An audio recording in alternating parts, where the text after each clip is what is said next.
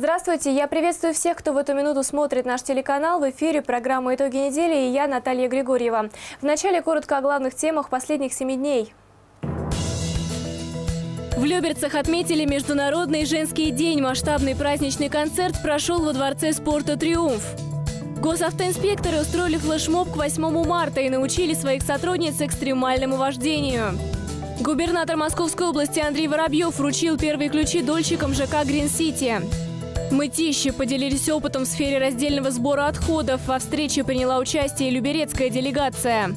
В Люберцах состоялся финал конкурса красоты «Мамочка-люберчаночка». В нем приняли участие 20 женщин. Кино без барьеров. В Малаховке показали фильм, адаптированный для слабовидящих и слабослышащих людей.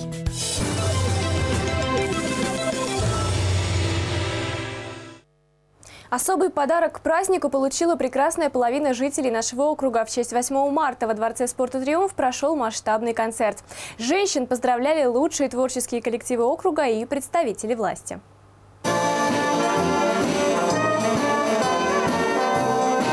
Триумф, как всегда, встречал музыкой. Праздничное настроение гостям начинали создавать уже в фойе Дворца спорта. Духовой оркестр исполнял знакомые мелодии, а далее на центральной арене гостей уже ожидало театрализованное представление.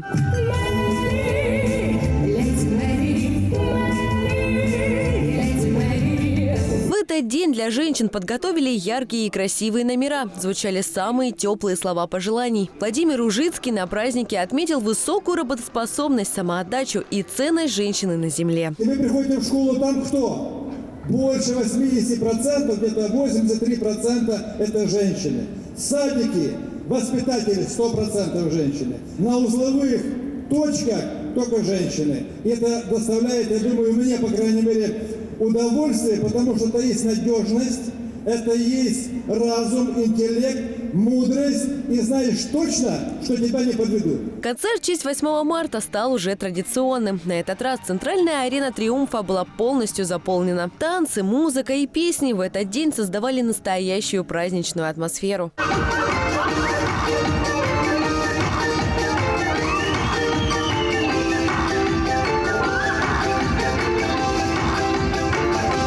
В адрес главных виновниц торжества звучали самые теплые пожелания. Депутат Мособлдумы Игорь Каханы также присоединился к многочисленным поздравлениям. Знаете, вы несете в нашу жизнь красоту, тепло, заботу. Я вам пожелаю в этот день, чтобы вы любили, были любимыми. С этими словами согласны и сами женщины-гости, которые присутствовали на этом праздничном концерте. Просто, наверное, любовь близких, подарки от них, внимание. Я думаю, что вот это для меня самое главное. Анна Троян, Мария Антонова, Александр Богданов и Никита Скраган. Телеканал ЛРТ. И в продолжение темы с 8 марта прекрасную половину человечества поздравляли повсеместно. Исключением не стал и коллектив детского консультативно-диагностического центра. В канун главного праздника весны с теплыми пожеланиями туда приехал глава округа. Я так думаю, что в эти дни вы слышите много разных хороших слов, и это хорошо, это правильно. Поэтому я искренне желаю, чтобы это такое праздничное, хорошее э, такое настроение и отношение к женщинам, оно было круглый год. Кроме теплых слов поздравлений, медработниц детского консультативно-диагностического центра также ждал и приятный сюрприз. Золотой голос люберец Александр Чайка исполнил для них лучшие песни о любви. Сердце верное свое. Анна Троян, Дмитрий Родзянко, телеканал ЛРТ. К другим новостям. Они ждали этого целых четыре года. Дольщики ЖК «Грин-Сити» наконец-то получили ключи от своих квартир. Их лично вручил губернатор Московской области Андрей Воробьев. Напомню, сроки сдачи домов неоднократно переносились. В 2012 году стройку приостановили из-за нехватки финансирования. Совсем недавно удалось найти новых инвесторов и завершить строительство двух домов. Этого дня люди с нетерпением ждали многие годы. Вложив деньги в строительство жилого комплекса Грин-Сити, они рассчитывали заселиться еще в 2014 году. Сроки завершения строительства 4 и 5 корпусов на улице Лорхов-Краскова постоянно переносились из-за нестабильного финансирования, а позже стройку вообще остановили. Все это время дольщики боролись за свое жилье. Много написано было писем во все инстанции, э, просили помощи, обращались во все инфраструктуры, которую можно было. Наконец-то в 2016 году нас услышали и нам а, нашли инвестора. Инвесторами было выделено 180 миллионов рублей, благодаря чему 28 февраля оба дома введены в эксплуатацию. Чтобы вручить ключи от квартир первым 10 семьям дольщиков, в Красково прибыл губернатор Андрей Воробьев. Сегодня у нас приятное событие. Мы можем вручить ключи тем, кто заплатил деньги очень давно. Дом начался строиться в 2012 году. Должен был сдаться в 2014 году. Но сейчас уже на дворе 18 весна. И только сейчас люди получат ключи для того, чтобы делать ремонт. На церемонию также приехали глава округа Владимир Ужицкий, депутат Государственной Думы Лидия Антонова и другие представители власти. Они поздравили жителей с будущим новосельем. Будем, наверное, потихоньку осознавать, что наконец-то получили ключи, что наконец у нас есть квартира, и мы не будем, большинство дольщиков перестанут скитаться по съемным квартирам, потому что для многих это было, конечно, тяжело. Люди платили ипотеку, э, одновременно снимали жилье и ждали. Также в ближайшее время ключи от квартир в ЖК Грин-Сити получат еще 484 дольщика, вложившие деньги в новостройку. Даниил Михайлов, Никита Скраган, телеканал ЛРТ. Глава округа встретился с жителями микрорайона Люберцы. На этот раз поговорили о проблемах экологии, работе полиции, а также нехватке парковочных мест и социальных объектов. А в главной теме – вопросах транспортной доступности помогал, помогал разобраться заместитель министра транспорта Московской области Андрей Середнев. Есть ли вообще как бы какой-то вот канал, чтобы вам выйти на Воробьева, чтобы он там а, министра Когана пригласил к нам сюда, либо дали ответ, когда это на самом деле закончится. Когда закончится проблема вредных выбросов в атмосферу? Этим вопросом до сих пор задаются многие жители микрорайона Люберцы. Но пока, говорят представители власти, неприятный запах до конца исключить не получается. Всему виной географическое положение жилых комплексов. 600 метров с правой стороны – это станция рации и примерно такое же расстояние до МСЗ-4 э, мусоросжигательного завода. К сожалению, мы напрямую не можем влиять на них, потому что это предприятие э, федерального уровня контроля. Однако проконтролировать вредные выбросы в атмосферу, вероятно, помогут мобильные станции мониторинга воздуха. Их предложили установить в микрорайонах, которые чаще всего жалуются на плохой запах. Кроме того, жителям жилых комплексов рекомендовали создать экологическую дружину. Также на встрече выяснилось, что не меньше люберчан волнует и нехватка парковочных мест. Эта тема решается такой только за счет газонов, другого нету, никто ничего не выдумал. Это нужно отработать, чтобы мы в летний период смогли приступить к обустройству парковочного пространства. Кроме того, жителям микрорайона неоднократно предлагали создать инициативную группу, которая поможет быстрее приступить к строительству многоуровневой парковки. А родители жилых комплексов интересуют еще и сроки сдачи социальных объектов. Открыли новые школы, нету очередей в детских садах. Да, в Люберцах нет очередей, но в самолете они очень-очень большие. А, в этом году у нас в планах запустить э, до номер три. Это август месяц 2018 года. На следующий год, и вы видите, мы э, ее уже строим. Это школа номер три, май 2019 года. В свою очередь, Владимир Ужицкий поручил застройщику жилого комплекса разместить на официальном сайте информацию о строительстве объектов. Однако самым насущным вопросом для жителей микрорайона по-прежнему остается транспортная доступность. Многие чиновники знакомы с этой ситуацией не понаслышке. Мы автобусы добавляем, и вот последние три месяца мы буквально с этим боремся очень серьезно. И э, перевозчиков заставляем выпускать дополнительные машины. Добавили э, по разным маршрутам порядка 20 машин. Также много нареканий прозвучало в адрес управляющей компании, которая обслуживает жилые комплексы, и работы участкового пункта полиции. По словам люберчан, график работы отделения не позволяет оперативно решать вопросы микрорайона. Анна Троян, Сергей Гвоздев, телеканал ЛРТ. Между тем, сделать свой город лучше могут сами жители. Порядка 7,5 тысяч жителей Подмосковья на портале «Добродел» проголосовали за ремонт медучреждений на территории региона. Об этом пишет местный портал «Риама» со ссылкой на заместителя председателя правительства Московской области Ольгу Забралову. Напомню, голосование стартовало 1 февраля. Его объектами стали около полутора тысяч медучреждений области. По словам министра здравоохранения региона Дмитрия Маркова, большинство жителей голосуют за ремонт и утепление цоколей и фасадов объектов, инженерных коммуникаций, окон и дверей, а также за устранение незначительных неисправностей водопровода и канализации. Чтобы проголосовать на портале, вам нужно выбрать свой город или район, затем найти в нем медицинскую организацию, а после указать необходимый, по вашему мнению, вид работ – капитальный или текущий ремонт или благоустройство благоустройства территории. Кроме того, вы можете оставить комментарий, а также приложить к нему фотографии. Голосование закончится 30 апреля. По его результатам некоторые больницы включат в план проведения капремонтов. Отмечу, в этом году в 152 объектах здравоохранения области планируются строительно-монтажные работы. Их общая сумма более 3,5 миллиардов рублей. Мария Лапчева, Никита Скраган, телеканал ЛРТ. Любец переймут опыт мытищ в вопросе раздельного сбора мусора. Об этом стало известно на минувшей неделе на тематическом круглом столе. Среди прочих участников на мероприятие прибыла и делегация из нашего округа. Подробности прямо сейчас. Место проведения круглого стола выбрали не случайно, ведь МТИЩи занимают первое место в России в сфере раздельного сбора мусора. А началось все в 2009-м. За два года в городе установили первые 80 специальных контейнеров. Сегодня же на территории МТИЩ таких уже 450. И останавливаться на этом местные власти не планируют. У нас сегодня задача перейти уже на сельские территории. Мы это медленно, но верно делаем. Вот с тем, чтобы охватить полностью всю территорию. Мы чем-то похожи. У нас достаточно много сельских территорий. Вот в отличие, там, допустим, от компактного долгопрудного или Химок, у нас большая еще сельская территория, и там мы сейчас должны эту тему тоже достаточно а, плотно развивать по организации раздельного сбора мусора. Между тем, в Люберцах дела с раздельным сбором мусора обстоят не так радужно. Чтобы исправить эту ситуацию, на круглый стол в Мтище приехала местная делегация с Владимиром Ружицким во главе. Участники встречи обсудили вопросы бюджетирования переработки мусора, информирования жителей, а также методы сбора и захоронения отходов. Эта тема, она стоит достаточно остро в целом Российской Федерации. И мы к этой теме как бы пытаемся подойти, но мы, по сути, в начале пути. Мы э, к раздельному сбору мусора приступили чисто, а, будем говорить, э, виртуально.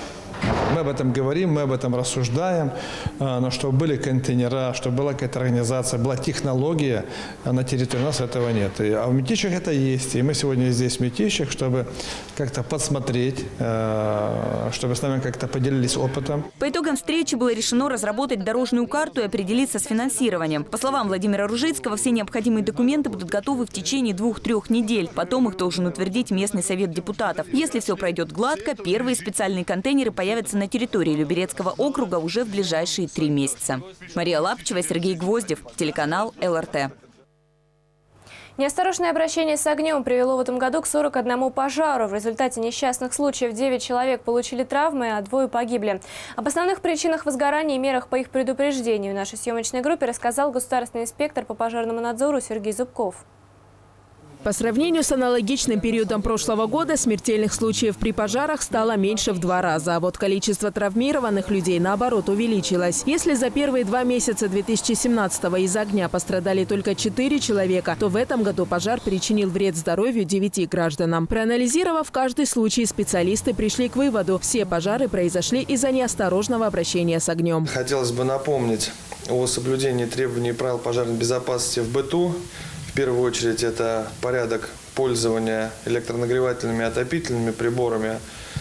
Ни в коем случае не располагать данные приборы в непосредственной близости от каких-либо сгораемых материалов. Кроме того, следует быть предельно осторожными с открытым огнем. Недавно в Малаховке произошел пожар, в результате которого пострадала пожилая женщина. По предварительной версии, причиной возгорания стала горящая свеча, оставленная без присмотра. В результате возгорания пострадало помещение кухня.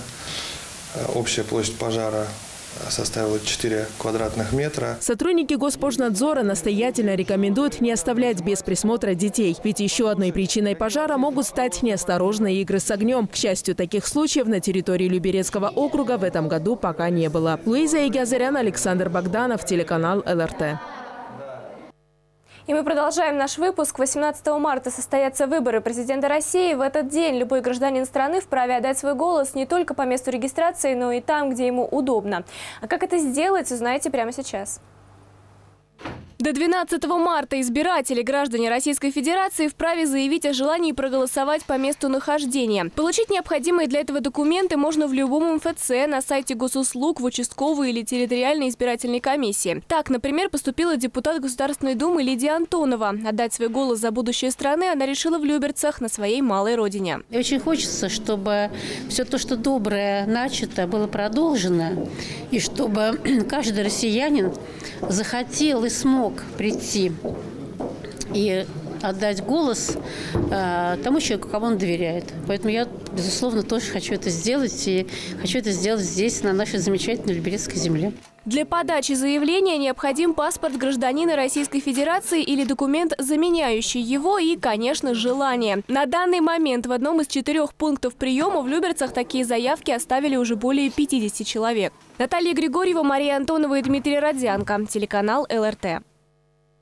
Мы возвращаемся к, пожалуй, главной теме прошедшей недели. Это 8 марта. В Люберцах прошел конкурс красоты. Но в нем приняли участие не профессиональные модели, а обычные женщины. Каждая участница индивидуально, но всех объединяло одно – они мамы.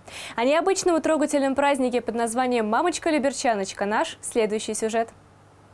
Ну я же супер мамочка, люберчаночка. Для каждой из 20 участниц этого конкурса выход на сцену уже стал победой. Ведь этому предшествовала непростая работа. Многочасовые тренировки, мастер-классы по дефиле, уроки позирования. В общей сложности два месяца подготовки. И вот зал полный болельщиков и экспертное жюри, готовы оценить результаты их трудов. Наши конкурсантки самые красивые, самые очаровательные, самые восхитительные, самые смелые! После того, как мамочки-люберчаночки показали свои умения ходить по подиуму, они поучаствовали в интеллектуальном конкурсе. Вопросы задавали простые, но в то же время каверзные. А самым волнительным этапом стала визитная карточка. В выступлениях некоторых девушек принимали участие их мужья и дети. Молчи и обнимай меня крепче. Но главная цель этого проекта носит вовсе не конкурсный характер. Организаторы подчеркивают прежде всего его социальную значимость. На кастинге первое, что говорили, это не хватает эмоций, хочу найти подруг, хочу преодолеть определенные барьеры перед сценой, перед людьми. Но это э, такое сплочение семей, сплочение девочек. Они все подружились, все нашли интересы. И видишь, как болеют э, э, родственники. Родственники действительно болели очень активно. Способ поддержки у каждого свой. Кто-то пришел с плакатом, а кто-то с букетом цветов. Я наблюдал, да, она репетировала очень много, переживала. Поэтому я надеюсь, что победит. За Анжелу. Номер 19, Анжелика Теремкова. Она принимает участие во многих конкурсах. Она активная, везде старается принимать участие.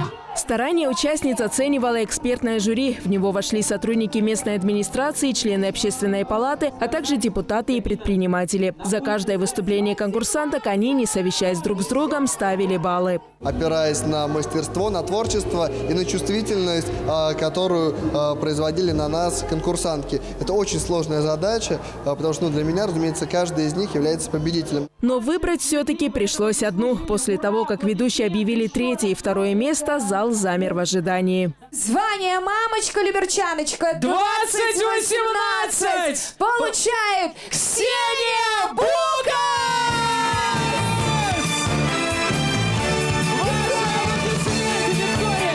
Мама троих детей, визажист, певица, а еще и спортсменка. Ксения признается, времени и сил для репетиций порой не хватало. Но благодаря поддержке семьи и организаторов конкурса она прошла этот путь до конца. Конечно, мне очень хотелось победить, я не скрою. Но очень много было достойных девочек, волнение сыграло свою роль и ожидала, но все равно получилось неожиданно для меня. Ни одна участница не осталась без внимания. Некоторым девушкам присвоили специальные номинации. Но абсолютно каждая из них вынесла из этого праздника самое главное – массу положительных и незабываемых эмоций. Луиза Игазарян, Дмитрий Родзянко, телеканал ЛРТ. Флешмоб к 8 марта от ГИБДД. Необычный подарок сделали люберецкие госавтоинспекторы своим коллегам-женщинам. На автодроме в Дзержинском они поставили свои патрульные машины в виде огромной цифры 8. Также для сотрудниц организовали мастер-класс по контраварийному вождению. Цифра 8, составленная из полицейских машин. Этот оригинальный флешмоб запустили госавтоинспекторы, чтобы поздравить женщин с главным праздником весны. В Дзержинском солнечно. Отличная погода, чтобы погонять на автодроме. Именно такой необычный подарок руководство Люберецкого ГИБДД подготовило для своих сотрудниц к 8 марта. Девушки наши, э, которые трудятся в государственной инспекции, вот мы за них переживаем и решили, что вот этот подарок для них будет более чем актуален, и что вот те ситуации, о которых я говорю, они к ним подготовятся и а, смогут уже достойно отреагировать на любые изменения дорожной ситуации, в которую они попадут. Мастер-класс по контраварийному вождению начали с теории. Инструктор автодрома объяснил девушкам, как себя вести за рулем во время заносов, а также как реагировать в опасной дорожной ситуации. Ну, хотелось бы научиться не попадать э, э, в ДТП вот именно на скользкой дороге. Приходится и резко тормозить, и, скажем так, думать на несколько шагов вперед, чтобы предусмотреть, скажем так, маневр другого водителя. Езда в зимнее время опасна для всех автолюбителей и тем более для работников ГИБДД. На площадке автодрома девушки отработали полученные знания, а также потренировались выполнять знаменитый полицейский разворот. Поворот рулем в сторону, ручник. Руль в другую сторону, тяга, тяга, тяга, не сдаемся, не тормозим. Это полицейский почти разворот у нас получился. Ситуации бывают разные, поэтому готовыми, конечно, особенно как бы нам, кто в погонах, нужно быть ко всему. Всем участницам заездов катание на автодроме доставило массу положительных эмоций и полезных навыков. В целом экстремальная езда очень понравилась. Обязательно приду сюда еще раз и еще раз попробую. В завершении девушки получили сертификаты о прохождении мастер-класса, а также поздравления с Международным женским днем. Даниил Михайлов, Александр Богданов, телеканал ЛРТ. Расскажем еще немного о люберецких женщинах. Научить ребенка хорошему, воспитать его достойным человеком. Задача не только родителей, но и учителей. Эта благородная профессия всегда была и будет в почете. Героем нашего следующего сюжета стала Татьяна Арсентьевна Смирнова, учитель-экспериментатор гимназии номер 40, 41. Простите.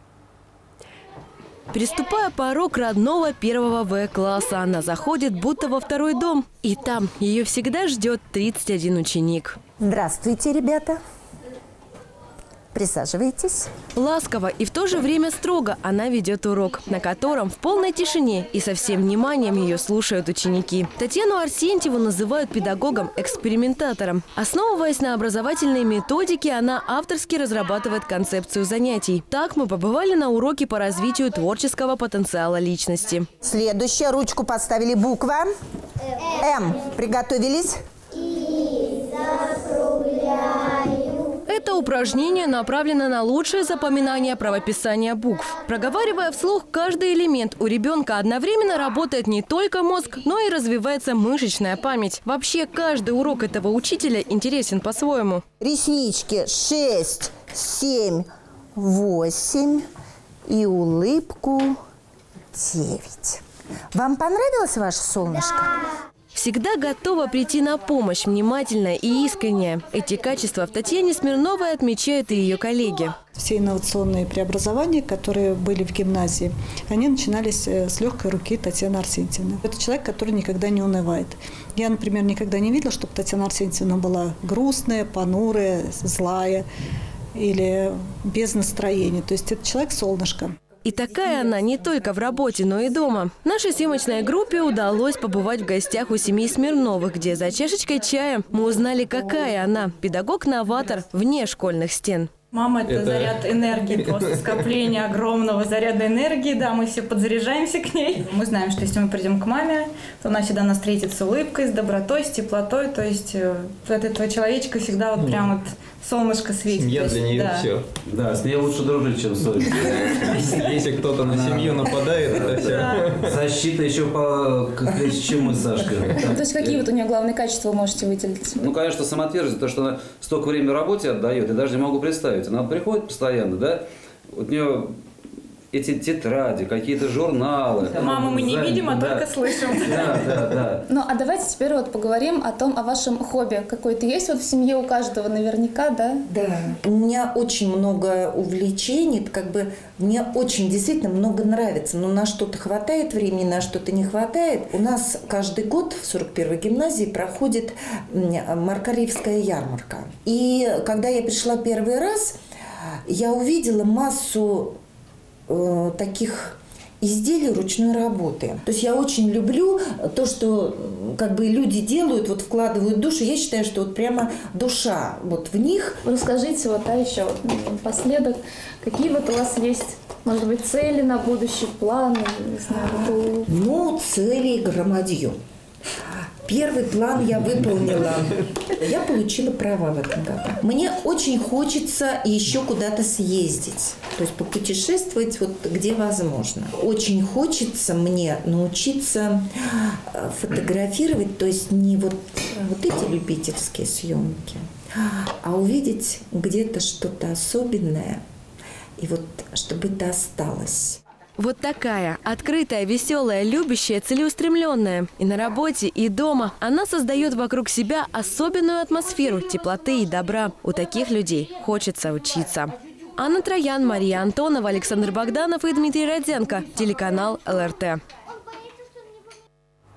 Волонтер, журналист, музыкант, актриса театра. Возможно, вы подумали, что я говорю о разных людях, но на самом деле все эти способности сочетаются в одной хрупкой девушке. Героиня нашего следующего сюжета Татьяна Курилович. Занимая ответственную должность пресс-секретаря главы Люберец, она всегда находит время для творчества. Как же ей это удается, узнаете далее в сюжете. Она все время в спешке и всегда в боевой готовности. Перед выездом на мероприятие обязательно проверит, всем ли журналистам отправлены пресс-релизы и уточнит, какие средства массовой информации займутся освещением того или иного события. Ни одно важное собрание или официальная встреча не проходит без ее участия. Работа Татьяны всегда за кадром, но она очень важна и ответственна. Ребят, ну пресс-подхода не будет. Как обычно, пишем со сцены. Да. Если кому-то нужен лайфик, он будет выступать, тогда просто пишем со сцены. Ладно? скажите еще об этом. Да, хорошо. Просто никого нет, я всем передам. В Люберецкую администрацию Татьяна Курилович пришла пять лет назад. На тот момент за плечами у выпускницы журфака МГУ уже был большой опыт. Любовь и интерес к профессии был настолько велик, что на четвертом курсе она устроилась на работу и на протяжении семи лет трудилась на различных телеканалах делала разные программы, от юридических, где я была просто ведущей, до программ о животных. Я там была и автор, и ведущая.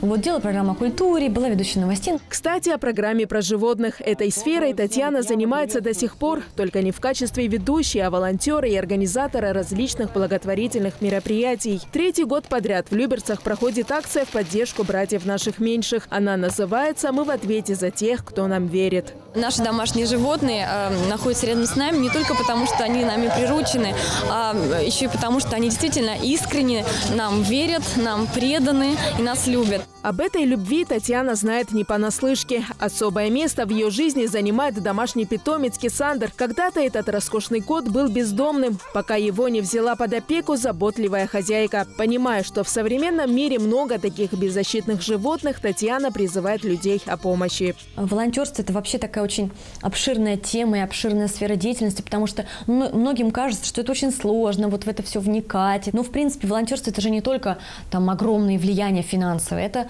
ну, иногда нужно просто там отвезти животное из пункта А в пункт Б, просто разово какую-то помощь оказывать. Можно просто приезжать в приют и гулять с собаками, потому что для них это огромная радость. Волонтерство не единственное занятие, с которым Татьяну свела работа на телевидении. Так получилось, что именно журналистика давала толчок к новым этапам жизни. Все началось с музыки. Ею Татьяна увлекалась еще в детстве, но первые выступления на сцене начались уже во взрослой жизни. Десять лет назад во время съемок она познакомилась с музыкантом Дмитрием Мирошниченко. Так она попала в группу «Дом ветров».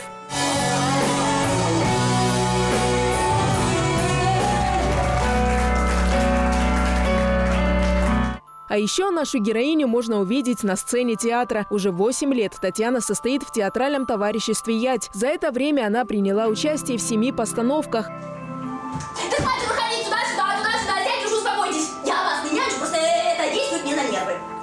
Для того, чтобы достойно исполнить ту или иную роль, приходится раскрывать себе новые таланты. В спектакле по Гибсону «Двое на качелях» нужно было танцевать тоже совершенно безумный для меня танец в стиле там Мерлин Монро. Это просто вообще не в моем характере, не в моем стиле. Мне было очень сложно вообще. И очень все непривычно, сложно. Но еще вообще эта вся манера. Ой, ну да, в общем, нужно быть готовым ко всему всегда.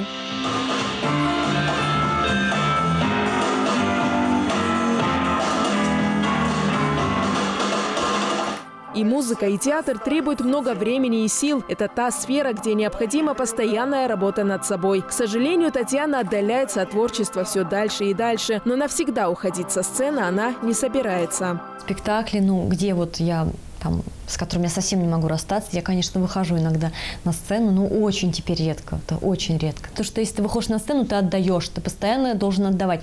Конечно, когда у тебя ресурс исчерпан, когда ты, в общем-то, на работе все отдал, то пустым на сцену ты не выйдешь. Просто это будет, в общем-то, жалкое подобие. Тот, кто знает об основной работе Татьяны, не удивится, ведь это колоссальный объем информации, событий, общения с разными людьми. У нее энергии полно. Она с утра до вечера может работать, причем с, с одинаковой интенсивностью. Неважно это ночь, неважно это утро, неважно это в выходные. Всегда откликнется, даже если она занята, даже если там у нее какие-то свои дела, она все равно старается ну, уделить тебе внимание. В этом и заключается особенность Татьяны. Несмотря на плотный график, бесконечные гастроли, репетиции, тренировки, она никогда не забывает о друзьях. Порой, отбросив назад плохое настроение, дарит окружающим людям улыбку. Про таких говорят «человек с открытым сердцем». Луиза Игазарян, Дмитрий Родзянко, телеканал ЛРТ. На очереди наша постоянная рубрика «Свободный микрофон». В преддверии Международного женского дня наш корреспондент Анна Троян задала люберчанам непростую задачку. Как же телегорода справились с ней, узнаете прямо сейчас. Чего хочет женщина? Этим вопросом хотя бы раз в жизни интересовался каждый мужчина. И действительно, представительницы прекрасного пола любят намекать, не договаривать. Именно поэтому сегодня мы поинтересуемся у них напрямую, чтобы узнать, насколько близки в своих догадках мужчины. Чего хотят женщины? Внимание, заботы, еще чего, любви, тюльпанов побольше. Да бог их знает. Наверное, искренней любви. Чтобы ребенок был здоров и все счастливы. Счастье. Любви. А как им это дать? Как это дать? Это сложно. Ну, мне кажется, любви достаточно. Знаки внимания, наверное, даже маленькие. Хоть чуть-чуть. Накачанных парней, не знаю, спортивных. Чтобы их любили и на руках носили. А как этого добиться? Не знаю. Усилиями титаническими. О любви, счастье, душевного равновесия. Успехов в работе, в семье. Побольше денег, возможно. Мне кажется, все в твоих руках. Смотря какая женщина, смотря какие запросы. Господи, что, денег побольше? Что женщина может хотеть? Для меня главное это внимание. Ну и любовь, естественно. Их никто не может понять. Это невозможно узнать, чего она хочет. Она сама не знает, чего она хочет. Поздравляем всех дам с прекрасным праздником 8 марта. Здоровья детям. Любящих, любящих мужчин, что еще можно пожелать? Чтобы они оставались всегда счастливыми, красивыми и радовали нас, мужчин, своей красотой и нежностью. Поздравляю вас с 8 марта. Желаю вам любви, ласки, счастья, здоровья, всего самого хорошего. Уважаемые женщины, с 8 марта. Любви вам, тепла, мужской заботы. Прежде всего здоровья, красоты, благополучия и хороших вам мужчин. Все элементарное просто, мужчины. Теперь только стоит прислушаться к вашим женщинам. Ну а мы, коллектив ЛРТ, присоединяемся ко всем поздравлениям и желаем побольше улыбок в этот прекрасный солнечный день.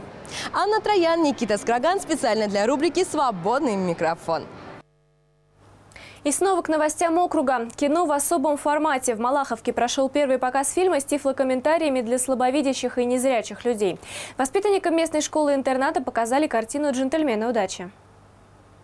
Что такое тифлокомментарии и как незрячие могут увидеть кино? Этот вопрос волновал всех, кто пришел в культурно-досуговый центр «Союз». Ученики Малаховской школы для слабовидящих с нетерпением ждали начала сеанса. Сегодня мы пришли на фильм с тифлокомментариями.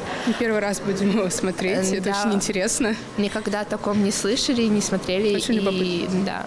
Такое кино в Малаховке показывают в рамках программы «Доступная среда». На 2018 год запланирован показ 38 адаптированных художественных фильмов. Вход на сеансы свободный. В этом году мы заключили договор с киноконцертом «Мосфильм» на демонстрацию, бесплатную демонстрацию фильмов с тифлокомментариями. Тифлокомментарий – это такое, знаете, лаконичное описание действия, пространства, а, предметов для людей, которые не совсем видят то, что происходит на экране. Фильм «Джентльмены удачи» выбрали не случайно. Часть картины снимали в Малаховке. Присутствующие с большим интересом слушали закадровое описание. Слышь, пасть порву, плотный скотина, кому говорят. В руках доцента бинокль. Ну? Он и худой бегут на холм.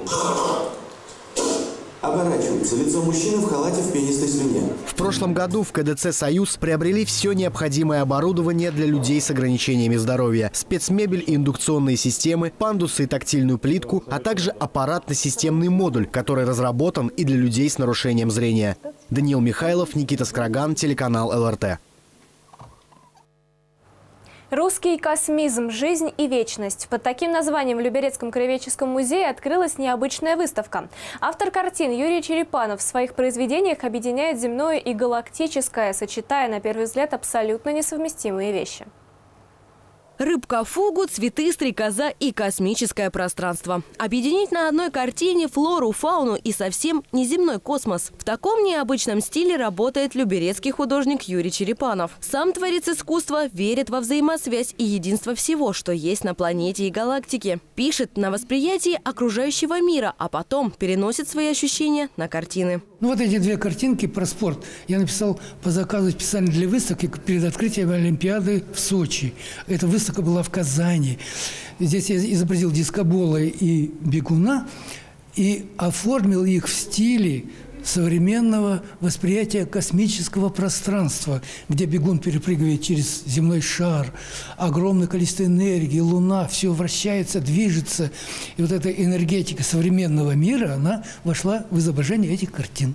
60 лет в искусстве – именно это послужило поводом открытия выставки Юрия Черепанова в Краеведческом музее. Русский космизм – особый вид мировоззрения, лег в основу почти всех картин автора. В этом стиле работает он с момента запуска первого спутника. Космос и по сей день вдохновляет художника. До сих пор, рисуя каждую картинку, я думаю не только о земном изображении, но и о небе и о космическом пространстве, в котором мы находимся. Вот поэтому, когда я что-то изображаю, я вольно, невольно вкладываю в изображение каждого дерева, травы, пространства, земли, поля, неба ощущение, что мы не одни, что мы далеко, далеко существует все пространство, которое связано с нами нитями. На обозрение зрителей художник представил 60 произведений, выполненных в особо трудной технике графики, карандаши и гуаши, и даже иллюстрации к религиозным книгам. Работы люберчанина уже успели привлечь не только ценителей высокого искусства, но и совсем юных зрителей. Меня очень впечатлили картины карандашом. Они очень э, необычные, очень интересные. Меня впечатлила тема, э, то, что здесь соединено все, все из нашей жизни, э, то есть от неба до земли, и это очень красиво. Увидеть воочию русский космизм в Краеведческом музее можно до 20 марта. Анна Троян, Дмитрий Родзянко, телеканал ЛРТ. Завершая наш выпуск, ушел из жизни наш земляк, известный художник Михаил Суханов. В память о нем в Люберецком краеведческом музее вывесили несколько картин. Все его работы наполнены особым смыслом. Так, основу творчества составляли древнерусская и северная тематики.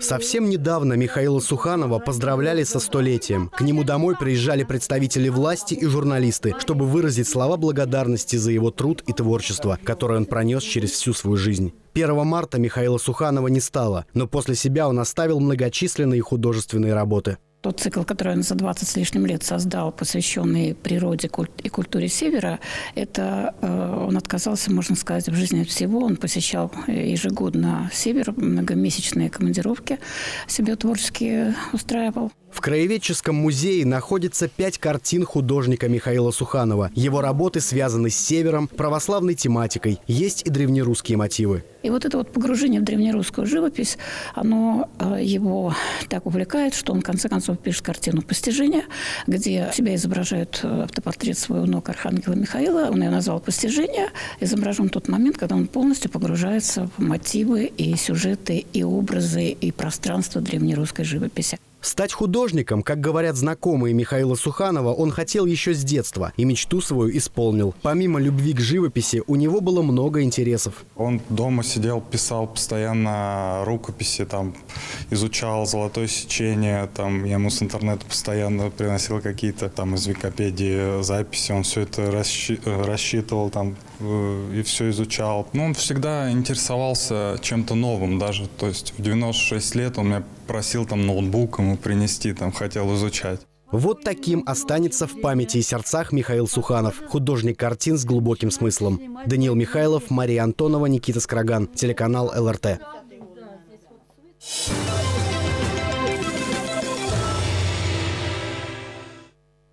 Это была итоговая программа на телеканале ЛРТ. Напоминаю, что все новости городского округа Люберцы есть на наших страничках в соцсетях. Подписывайтесь.